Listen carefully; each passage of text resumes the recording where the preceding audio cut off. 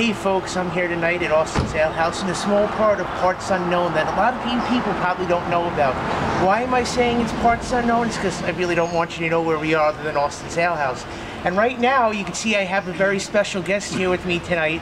Me, the T-Bag, and my partner, the Bone Crusher. Say hi to those people. Hello, everybody. And- Welcome. And here tonight we're at Austin's Ale House in Parts Unknown to see a band that both of us know, Circle of Four. And no, folks, it's not a clever name. There are actually four guys in the band. Show them four. That's right. Four.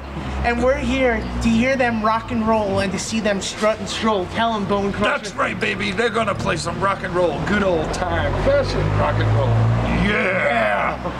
Is there anything else that you want to say, Bone Crusher? I want an hors d'oeuvre. An hors d'oeuvre? An hors What the d'oeuvre. hell's an hors d'oeuvre?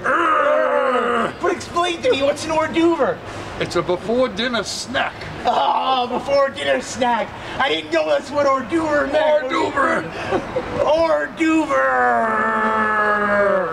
So all I have to say is over.